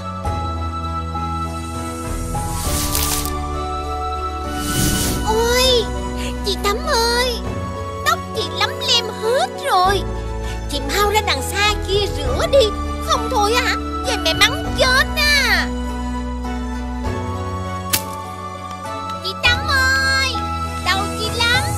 Chị hợp chết sau Kéo về mẹ mắng Ủa? Cám ơi! Em đâu rồi? Cám! Tép đâu mất hết rồi. Cám! Em nỡ làm như vậy với chị sao? Sao con khóc? Ông là ai? Ta là Bụt Chuyên giúp đỡ những người tốt gặp hoạn nạn như con. Con có chuyện gì vậy? Con bị em cám lừa. Tối nay Con sẽ không được ăn cơm. Con hãy nhìn kỹ trong giỏ xem. Là con cá bóng. Được lắm Con hãy thả chú cá bóng này xuống giếng. Ngày ngày con cho nó ăn cơm. Con hãy hát Bóng bóng ban ban Lên ăn cơm vàng Cơm bạc nhà ta. Chớ ăn cơm hẩm cháo qua nhà người. Dạ Con cảm ơn Bụt. Thưa gì con mới về? Ừ Con đi bắt tép lâu như vậy Chắc được nhiều lắm ha. Ờ Dạ con có mỗi một con cá mà con đi mãi bây giờ mới về. Vậy mà con còn tị nạnh việc nhà với em cám. Nó đi có một lát mà xúc được đầy giỏ kìa. Ờ, con... Ôi, tại vì ngày thường con không muốn thể hiện thôi. Chứ con mà ra tay thì... Việc gì cũng xong. Con thấy đó, mẹ thương cả hai đứa đồng đều. Không phân biệt con chồng hay là con ruột. Nhưng con thua cuộc thì từ rài phải làm hết việc nhà. Cám được yếm đỏ. Con xin phép gì? Con ra sau nhà nấu cơm. Bóng ngoan của chị. Đây là nhà bóng.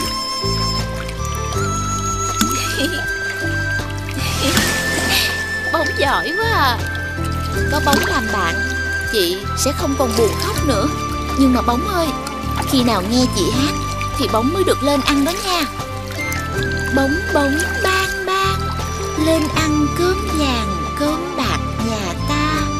Chớ ăn cơm hẩm cháo hoa nhà người Bóng bóng bang bang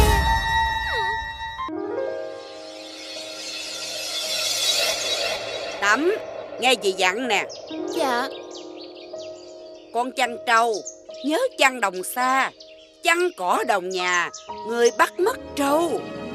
ờ, Dạ dân ạ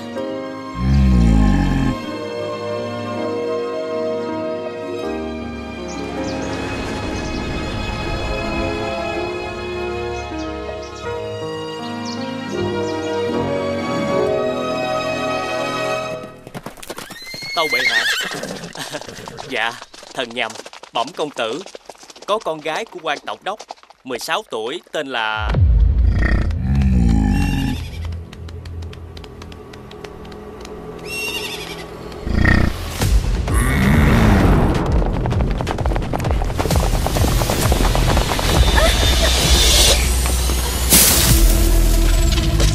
Thiếu nữ, Nàng có sao không? Xin thứ lỗi Xin thứ lỗi. Cô gái kia Thật là vô lễ Mau quỳ xuống. Thưa ngài thứ lỗi Con trâu của tôi tự động phóng ra Nhưng do ngài phi ngựa nhanh quá. Hỗn láo Dám bắt lỗi. Cứ để cô nương đây nói. Ngài xem Đường làng thì nhỏ như thế này Mà ngài lại phóng ngựa bất chấp như vậy. Lỡ có người già Hoặc trẻ nhỏ không tránh kịp thì sao? Ngươi dám. Không phải sao? Ta xin lỗi Vì đã khiến nàng hoảng sợ. Dạ thôi bỏ qua Tôi còn có gì phải làm. Một cô thôn nữ cứng cỏi.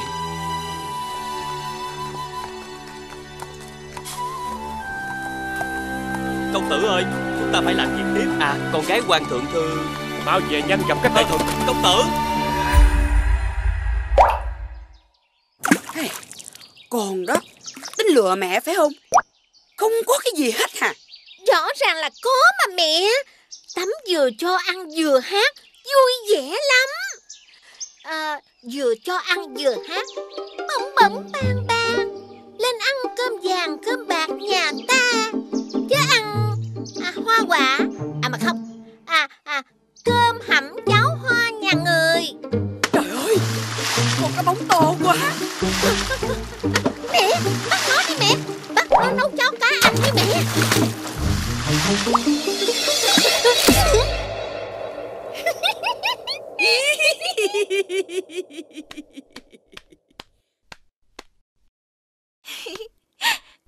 ơi, Hôm nay chị có chuyện vui kể cho em nghe nè. Bỗng bỗng bang bang, Lên ăn cơm vàng, cơm bạc nhà ta, Chớ ăn cơm hẩm cháo hoa nhà người. Bỗng ơi, Em đâu rồi? Hay là em ốm rồi? Tắm con đừng tìm nữa. Cao bóng đã bị mẹ con cám bắt ăn thịt rồi. Hả? Bỗng Con mau tìm xương cá bóng Bỏ vào bốn cái lọ Đem chôn ở bốn chân giường đi. Mai mốt sẽ dùng đến Tội nghiệp bóng quá. Xin lỗi bóng. Chị đã không thể bảo vệ em. Dù không hiểu ý mục Nhưng ta vẫn tìm xương của em để chôn cho đàng hoàng. Tục tác, tục tác Cho ta tóc ta mới xương cha Tục ta, tục tác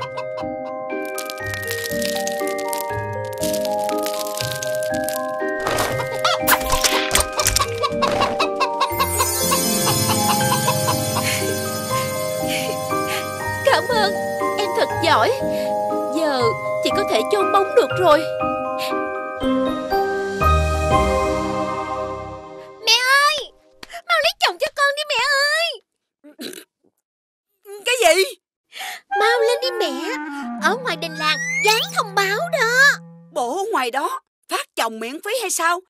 Dành. Nhà vua mới lên ngôi. Mở hội ca hát múa ở kinh thành cho mọi người coi thoải mái. Thì có liên quan gì tới chuyện lấy chồng của mày đâu con? Có chứ. Hội lớn như vậy Thế nào cũng có dương tôn công tử đến xem. Con muốn lấy chồng Vừa giàu Vừa đẹp trai. Nhưng mà con Chưa có đồ đẹp để mặc đi chơi hội. Mới mai độ tuần trước mà Mặc một lần ra chợ Ai cũng nhìn thấy là cũ rồi Không Con muốn đồ mới kìa Mẹ mua đồ mới liền cho con đi Ê, con đó Chỉ biết nước đánh chân mới nhảy Mẹ đã biết tin này từ trước Đã chuẩn bị quần áo mới cho con rồi Hả? Thiệt hả mẹ? Ừ, thương mẹ nhất Mẹ của con là nhất hả? Mau lên đi Đi thay đồ nhanh lên. Mẹ ơi mẹ ơi Có con nè. Ừm, Con của mẹ lúc nào cũng xinh đẹp. Ôi Vui quá. Thưa gì Sao đó? Thưa gì Xin gì cho con đi hội. Chị ăn mặc xấu xí thế kia mà cũng đòi đi à. Em cám đừng nói vậy. Thưa gì Con đã giặt đồ Chẻ củi Nấu cơm Lau bàn ghế Cho gà ăn Hái rau xong hết rồi. Đương nhiên là con được đi rồi. Mẹ! Dạ. Nè Con chịu khó ở nhà Lựa xong chỗ này Mới được đi nghe chưa? Ừ, Nhiều quá. Để đi hội về Rồi con làm có được không ạ? Không được Thóc này phải đem giao cho người ta sớm. Nhặt xong rồi mới được đi đó.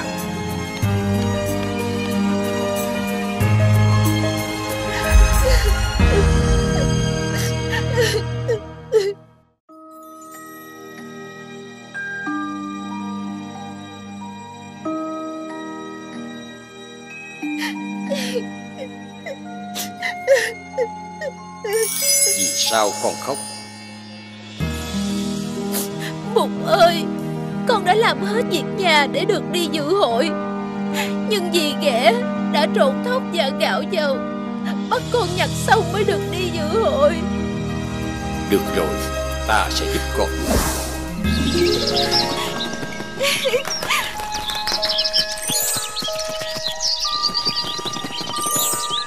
Ôi Con cảm ơn Mục Vậy là con được đi dự hội rồi. Khoan đã Không phải con vẫn cần quần áo đẹp Để đi dự hội hay sao? Dạ Con Bây giờ con hãy đào những cái lọ chôn xin cá bóng lên Sẽ có đồ đẹp để đi hội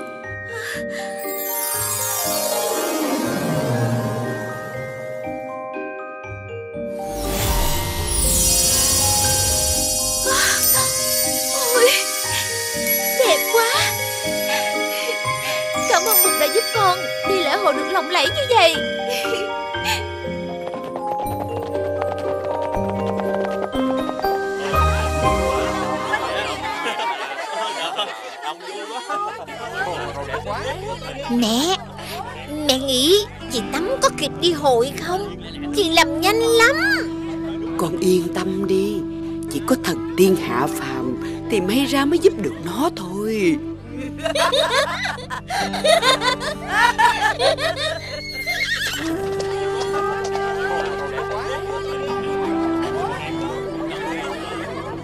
Thưa bệ hạ Người mau quay về Các người nói mãi một chuyện mà không chán sao Lợi dụng lễ hội tuyển hoàng hậu cho ta Rồi đưa người ta không thích vào. Thưa bệ hạ Chúng thần không dám.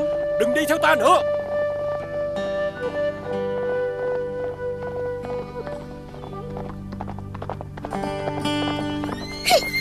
Cô nương Dừng lại Cho ta hỏi. Chúng ta phải đi nhanh cho kịp dự lễ hội Rồi còn phải về nhà trước giờ gì ấy và cám trở về. Cô nương à Cô nương không? Chiếc hài của tôi. Mất chiếc hài quý buộc ban cho ta rồi.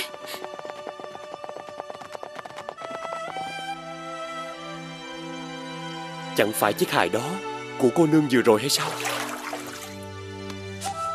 Tâu bệ hạ Là một chiếc hài quý Không thể là của một cô gái tầm thường được.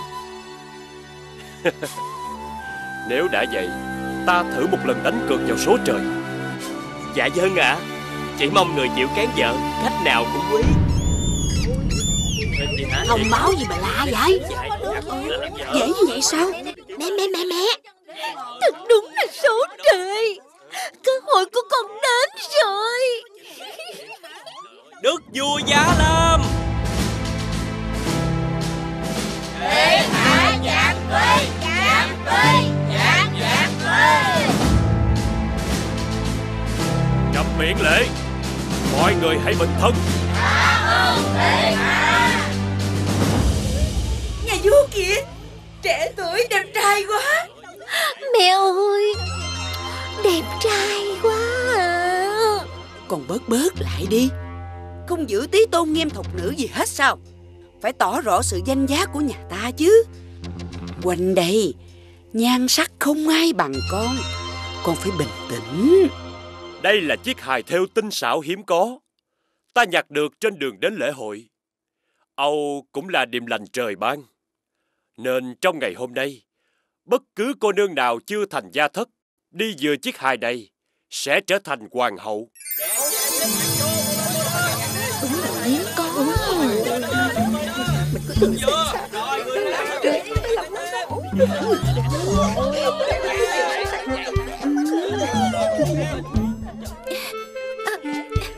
tránh ra.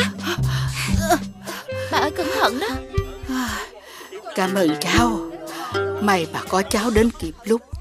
Không thì bà đã té và bị đám đông dẫm phải rồi. Bà có bị đau ở đâu không? Nhà bà ở đâu? Để cháu đưa bà về nha. Bà chỉ mệt thôi. Ngồi nghỉ một lát là khỏe. Cháu mau đi dự hội thứ hai đi. Ờ, Hội thứ hai là sao hả bà Cháu chưa biết sao. Nhà vua nhặt được một chiếc hài rất đẹp. Nên ra lệnh cho ai đi vừa chiếc hài Sẽ lấy người đó làm vợ. Cháu vừa xinh đẹp Lại tốt bụng thế này. Nếu trở thành hoàng hậu Thì đúng là điều tốt. Nhưng cháu không thể để bà ngồi ở đây một mình được. Để cháu đưa bà về nhà trước. Nhưng việc thử hài chỉ trong ngày hôm nay thôi. Nếu cháu đến trễ Sẽ không còn cơ hội nữa đâu. Không sao đâu ạ. Cháu đi ngựa nên có lẽ sẽ nhanh thôi. Bà hãy bám vào người cháu để lên ngựa. Cháu đưa bà về. Đang một chút nữa. Hướng dài hướng dài hướng dài Không được không được. Mời người kế tiếp. Lùi ra lùi ra. Chiếc hài á là của cám con ta Mau nhường chỗ cho hoàng hậu tương lai đi.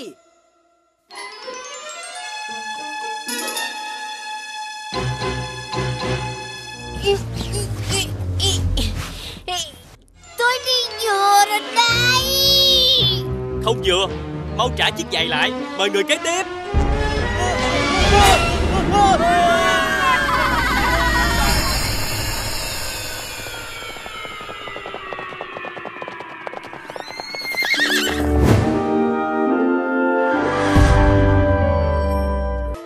rồi. Đây chính là chủ nhân của chiếc hài muôn tâu bệ hạ Xin mời cô nương. Cảm ơn ngài. Là con tắm. Là nàng. Cô gái chăn trâu Ta đã có duyên gặp gỡ. Ờ Người là công tử phóng ngựa hôm nọ. Thiếp xin bệ hạ thứ lỗi vì đã bất kinh. Không sao. Chưa từng có cô gái nào dám mạnh mẽ. Không sợ quyền thế mà góp ý với ta như vậy. Cũng chính điều đó Đã khiến ta không thể quên nàng Bệ hạ đừng cười thiếp. Nàng tên gì? Thiếp là Tắm Nàng có đồng ý làm vợ ta không? Ta tuyên bố Nàng Tắm sẽ trở thành hoàng hậu. Mẹ! Chị Tắm thành hoàng hậu rồi kìa Mẹ ơi! Mẹ! Cái thứ đuổi mất một trò mâm son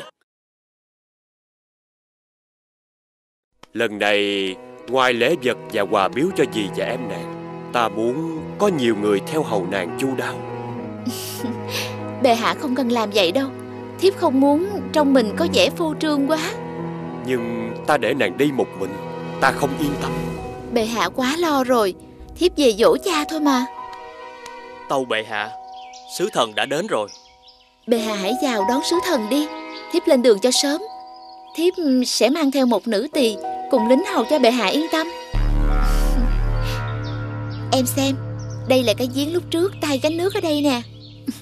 Hoàng hậu giỏi quá Chuyện gì ngươi cũng biết làm hết. Không chỉ gánh nước thôi đâu Hoàng hậu nhà ngươi còn biết hái cao Tem trầu cánh phượng rất là đẹp nữa. Dạ Dì quá khen con. Dì đâu có nói quá đâu. Quả thật từ khi con lấy chồng Nhà này thật là trống vắng Dì và em rất là nhớ con. Hôm bữa à, cá mới bị đứt tay Thế là đám dỗ lai quay mãi Vẫn chưa có ai hái cào hết. Ờ Dì để con kêu người làm cho. Con đã có lòng Thì phải tự mình lên hái cao Mới tỏ lòng hiếu thảo chứ. Chẳng lẽ khi là hoàng hậu rồi á Con không còn là con gái của cha con nữa hay sao? À Con giờ là hoàng hậu cao quý rồi. Thôi thì để gì làm. Ơ à, Kỳ gì? Dì để cho con làm. Nàng tắm vì muốn tỏ lòng hiếu kính với người cha cả phút Nên đích thân trèo hái cao cúng cha. Dì ơi Nhưng đâu ngờ Lúc nàng trèo lên Thì mẹ cám liền chặt cây cao để hại nàng. À Dì gõ kiến cho con. Sao mà kiến lượng nhiều quá à? Hả? Hả? Có Có à!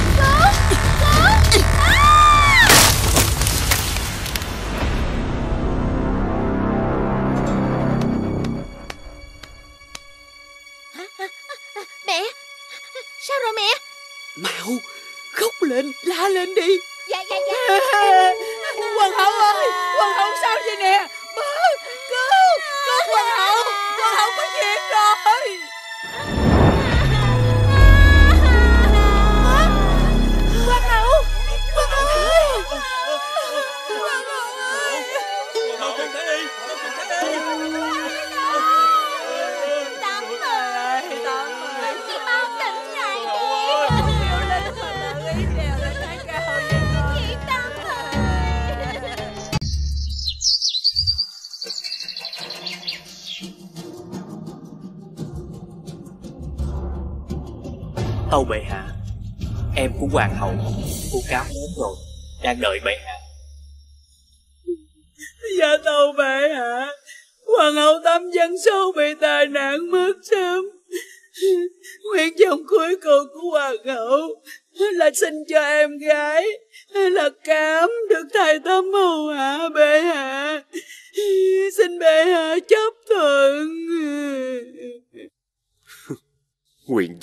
Cùng sao?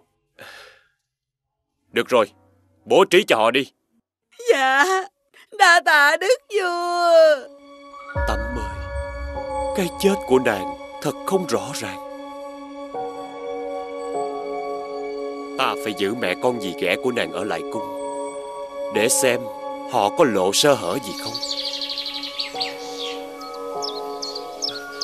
Chim vàng anh Sao lại biết khúc hát của vợ ta Vàng ảnh vàng anh Có phải vợ anh Chui vào tay áo?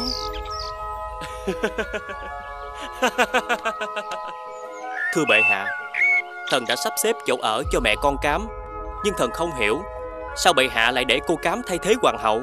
Người cử người theo dõi họ thật sát. Hãy làm cho ta một cái lồng vàng Cho chim vàng anh của ta. Dạ tuân lệnh bệ hạ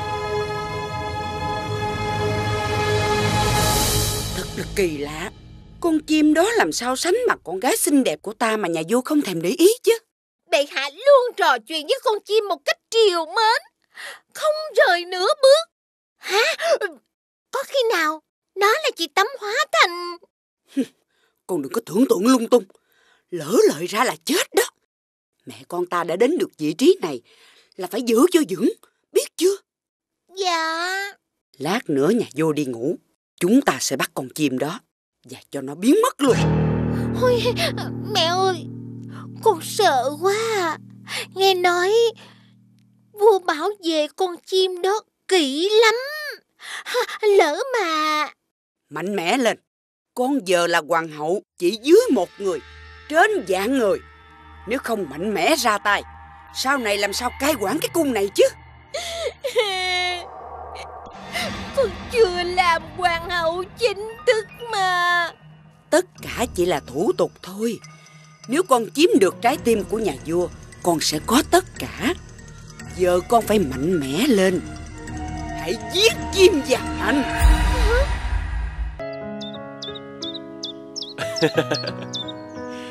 Vàng anh của ta ngủ ngon nha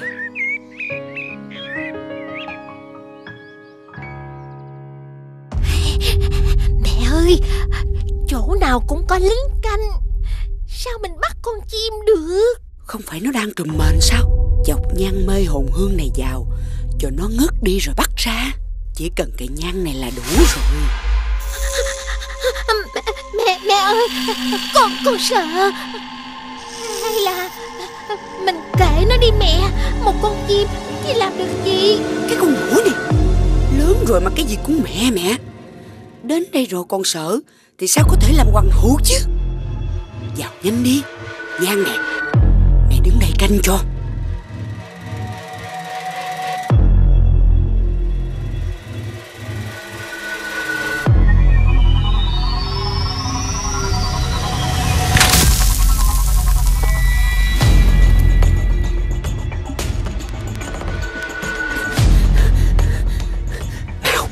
Đi chôn xác nó đi quay về cặp chân bọn tỳ nữ Cho chúng không hỏi han là con ở đâu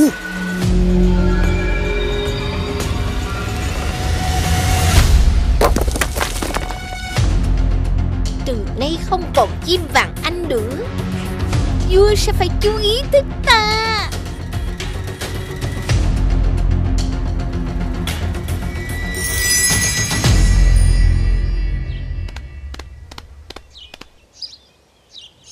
Đã tìm thấy vàng anh của ta chưa? Bệ hạ bớt giận. Có biết được ai làm không? Như vậy nghĩa là sao? Bao nhiêu lính canh mà không bắt được ai Không nhìn thấy ai sao Xin bệ hạ xá tội. Lính canh cũng không ngờ vàng anh bị bắt mất. Khi bệ hạ kiểm tra sáng nay mới biết à. Nhưng ai mà lại muốn bắt một con chim chứ? Phải. Ta cũng tự hỏi. Hình như ta nhớ ở đây Đâu có hai cây xoan đào này. Để thần đi hỏi người làm vườn. Không cần Cứ để cây ở đây. Gió thật mát Giống như là Nàng tắm từng quạt cho ta. Người đâu? Mang trọng đến đây cho đức vua. Vậy xin bệ hạ ngồi nghỉ cho hạ quả Để thần tiếp tục điều tra vụ chim vàng anh.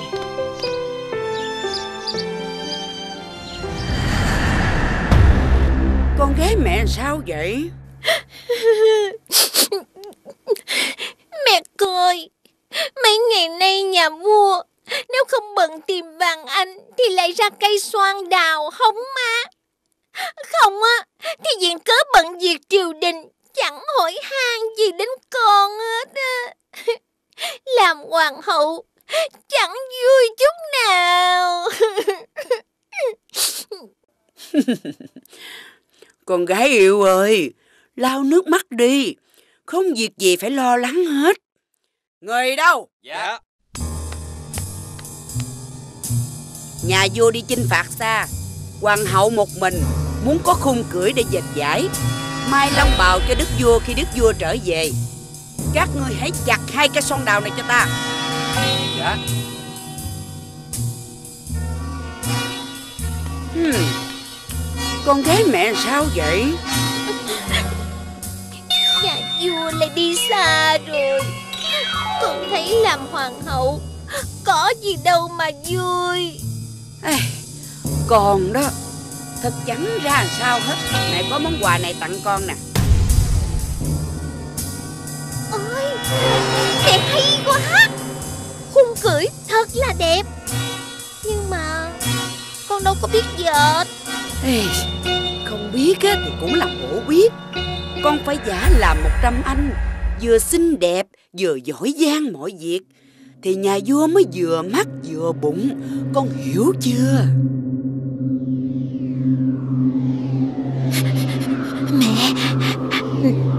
Mẹ thấy gì không? Nghe gì? Tiếng gió thôi mà. Con đừng có nhát gan như vậy chứ. Kẹo cà kẹo kẹt. Ai làm chuyện ác Có ngày không yên Kẹo cà kẹo kẹt Mẹ ơi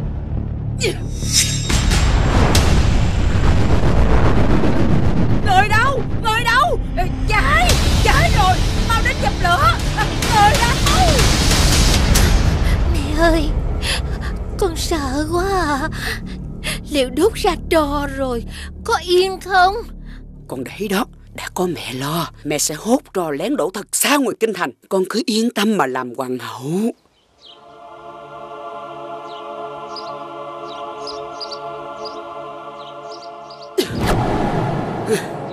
Cái thứ đũa mốc mà chồi mâm son hả? Từ nay Con cám con ta Sẽ trở thành hoàng hậu. Ta mới đi có mấy ngày Mà hai cây xoan đạo đâu rồi? Tâu bệ hạ Nghe người hầu nói lại là Cô cám muốn dệt cưỡi Nên cho đốn hai cây xoan đạo làm khung cưỡi rồi. Cái gì? Ai cho nàng ta tự tiện vậy? Bệ hạ bớt giận. Dù nàng ta chưa chính thức làm hoàng hậu Nhưng cũng được xem như hoàng hậu rồi. Người hầu cũng không dám cãi. Vậy cái khung cưỡi đâu? Bẩm Hôm trước ở điện của cô cám có cháy Nên cái khung cưỡi cũng cháy mất rồi à Vợ ta thì chết không minh bạch. Vàng anh mất không tìm ra kẻ trộm Hoàng cung thì cháy. Các ngươi làm ăn vậy hả?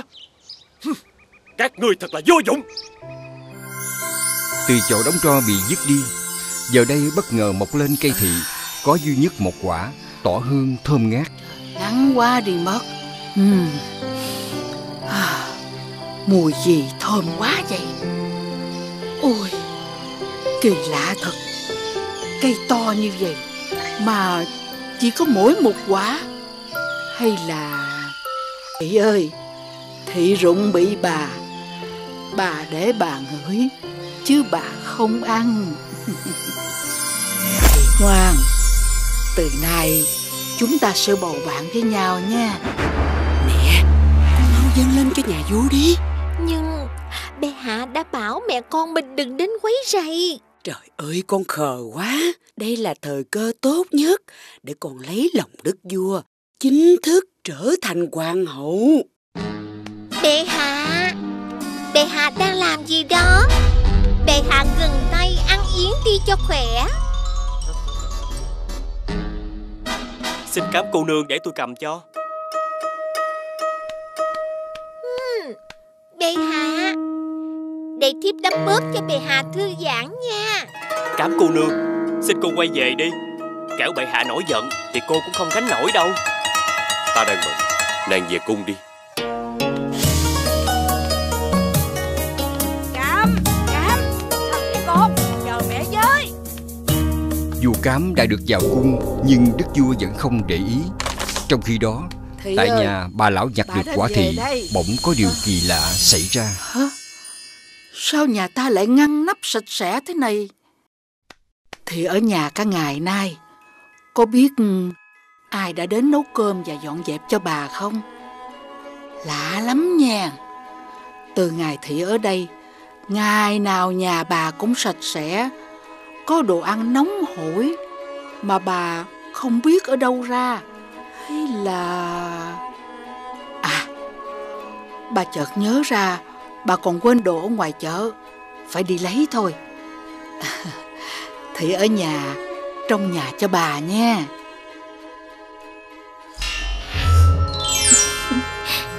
Bà đi vội quá Không kịp đậy mâm cơm nữa. Ta phải đậy lại mới được. À, cô tiên trái thị. Ờ Bà. À, là con hôm lễ hội đã giúp đưa bà về. Dạ.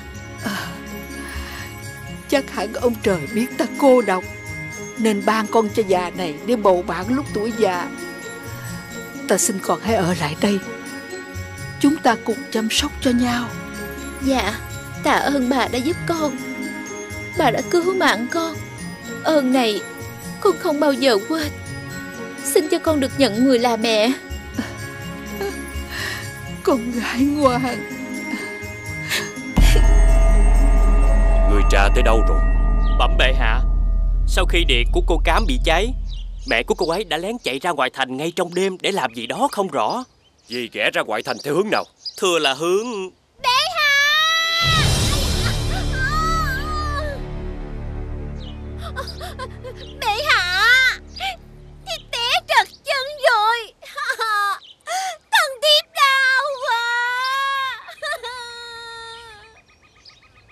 Người đâu? Mau đỡ cô cám dậy Dạ. Mau chuẩn bị ngựa. Chúng ta xuất cung